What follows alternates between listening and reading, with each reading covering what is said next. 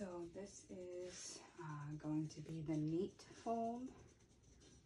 So I've been enjoying this one because uh, the rise is completely adjustable and it keeps a lot of the absorbency right in the front, which is perfect for my son. So you're going to start by bringing in two corners to the middle like that. And then to bring this corner up, lining it up with the top. Same on this side. Bring this corner up, lining it up with the top.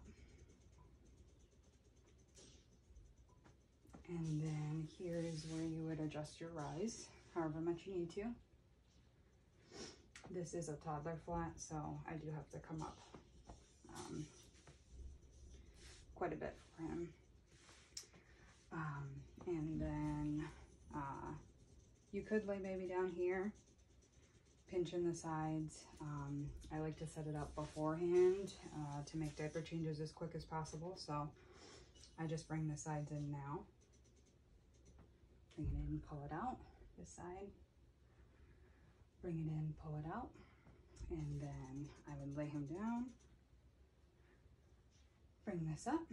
I like to kind of fan out the top a little bit when it's on him, like that. And then you cross your wings over. They're gonna be much smaller than with the origami fold. Secure, and that is the neat fold.